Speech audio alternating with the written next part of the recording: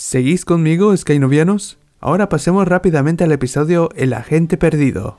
Justo antes de empezar a ver este penúltimo episodio de esta mitad de temporada, pensé que sería uno de relleno, pero para mi sorpresa es uno de los mejores episodios de la temporada.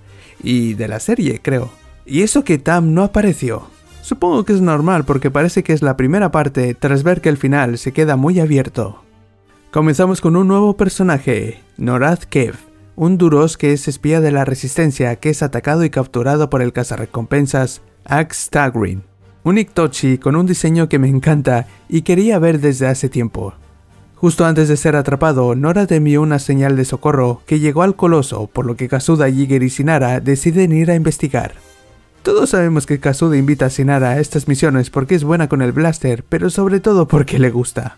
Investigando por el mercado se encuentran con un gran llamado Lichi, que más tarde se enteran que es simpatizante de la Primera Orden, gracias a una lista que ocultó Noraz. Antes de ir a interrogarlo, el cazarrecompensas los intenta capturar, pero gracias a las habilidades de Sinara en combate, logran escapar por los pelos. Esta pelea nos demuestra lo asombrosa que puede llegar a ser Sinara.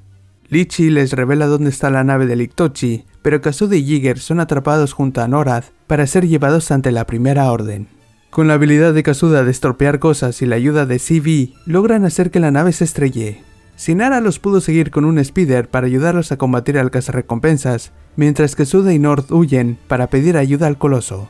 Las cosas se tuercen al saber que la primera orden ya ha llegado. Y así acaba el episodio. Por lo visto en los avances de un pequeño tráiler, parece que la orden va a torturar a CV para extraerle la lista de Norad, mientras que el cazarrecompensas irá a buscar a Kazuda y Norad. Tras capturar a Jiger creo que es el escenario perfecto para que vuelva a salir Tam y lleguen a hacer las paces para que los ayude y volver de una vez al coloso.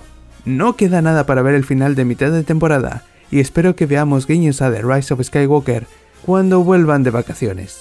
Y con eso acabamos esta review. Sé que han sido dos videos muy cortos, pero no quería que faltaran. Como siempre, déjame saber tu opinión en los comentarios. No olvides dejarme un like, suscribirte si aún no lo has hecho, seguirme en Instagram, Twitter y Facebook, visita mi página web y apoya el canal por Patreon para más contenido de Star Wars. Yo soy Skynobi y nos vemos en el próximo video. May the Force be with you. Always.